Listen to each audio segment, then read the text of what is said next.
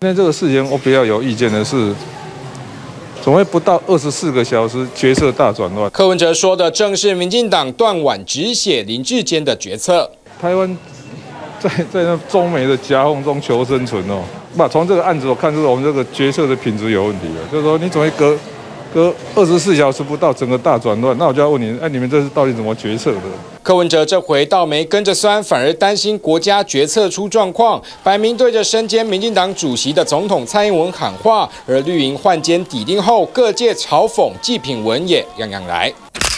国民党台北市议员开酸，换掉一个抄袭的，换上一个力挺抄袭的，说个笑话，依依不舍。参选议员的歌手谢和弦也在换监前就抛文，如果换人就请一百份鸡排，如果换成王世坚加码一千份。结果不到几小时马上兑现，好尴尬。但林志坚被换掉，或许最尴尬的还是他们原先做的帆布、扇子、帽子，当然文宣品了哈，都都全部都已经做出去，民众的认同度也非常高。那。碰到这种事情我也非常的无奈了哈。